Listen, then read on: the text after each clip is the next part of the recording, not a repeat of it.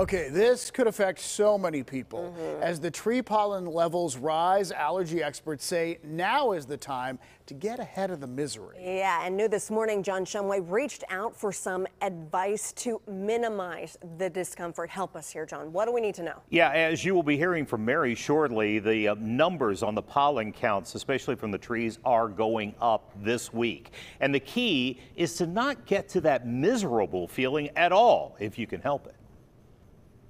While the wonder of spring can be beautiful as the trees bloom, for many, there's a very different experience. get you watery eyes and nose. And uh, if it's really bad, it can be pretty unbearable. So people can suffer pretty miserably. AHN allergy immunology specialist Dr. Russell Traister has seen some suffering folks. Sometimes in kids too, we'll see in the springtime, especially the tree pollen can uh, affect their eyes get really itchy and even swollen. So sometimes I see kids with their eyes are almost swollen shut due to the tree pollen. Dr. Traister says as the levels rise, keep the car and house windows closed, and you might want to change your furnace filter.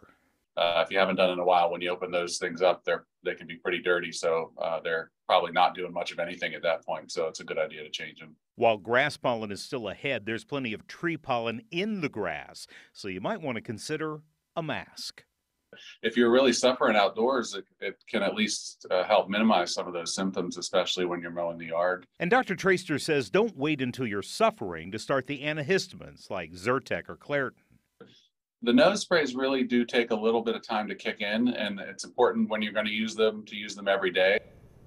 Yeah, and Dr. Traister points out that we're not talking life and death here, but we are talking about the quality of life. If you're an allergy sufferer, you know what we're talking about. Oh, yeah. Uh-huh. so it's the ounce of prevention theory here. Yeah, especially with those sprays because they do take a couple of days to kick in and be effective. And with the pollen levels going up this week, and it's not just coming from the trees, that stuff ends up in the grass as well.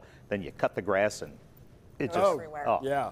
It's insufferable. You know what? I was never allergic to anything until like five years ago, and now tree pollen gets me. Isn't it crazy how things change and suddenly it's like, oh, I never felt that before, but Right. here it is. Yep. Here it is. It's a rude awakening. All right. Thanks, John. We Sure. appreciate it.